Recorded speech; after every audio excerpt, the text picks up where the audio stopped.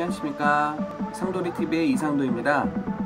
오늘은 와이프가 없는 틈을 타서 여러분들께 강좌를 하나 하려고 하는데요.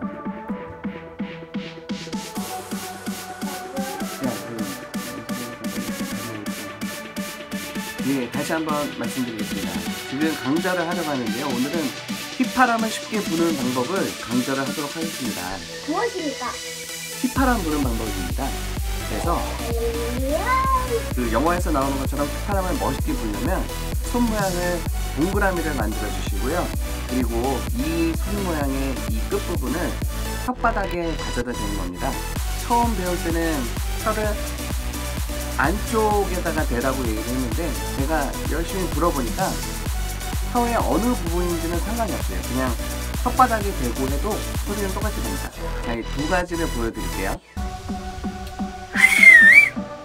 잘나죠? 그 다음에 이번에는 혓바닥 그냥 편하게 된 다음에 한번 보여드릴게요. 똑같이 나지 않습니까?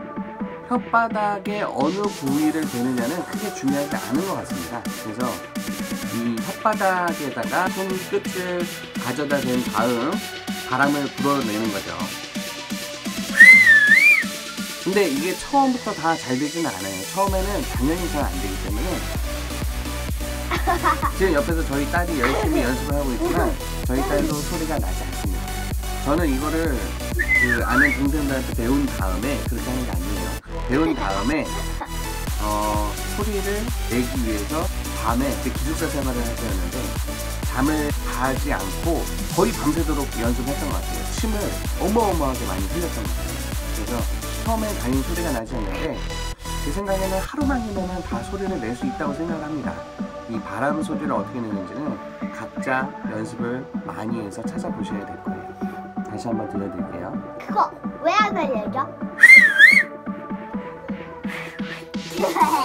음, 한번 드빈이도 한번 연습 계속 해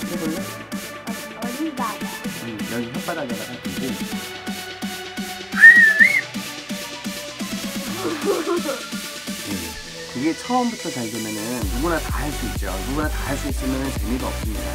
여러분들이 힘들게 연습을 해서 성공을 하게 되면 저처럼 크게 소리를 낼 수 있을 거예요. 어, 소리 잘 못 내시는 분들이 이런 거 많이 하시잖아요. 아 옛날에 이것도 잘 되는데 지금은 안 하니까 또 안 되네. 어떻게요? 이 거는 이빨 틈 사이에다가 바람을 빨아주기. 이것도 이것도 처음에는 연습 안 하면 안 돼. 뭐든지 제대나 연습을 열심히 해야지 되는 거지. 연습 없이 뭘 하려고 하면 안 돼. 그냥 너 여기 텔레비전에 나오면 안 돼. 자, 그러면은 너 나오면 나 엄마한테 혼난단 말이야. 야, 야 뒤로 가면 어떡해? 자, 여러분 열심히 연습해서 성공하시길 바라겠습니다. 마지막으로 한 번 더 들려드릴게요. 이게 침이 많이 보여서 좀 더러워요. 구독과 좋아요를 부탁드립니다.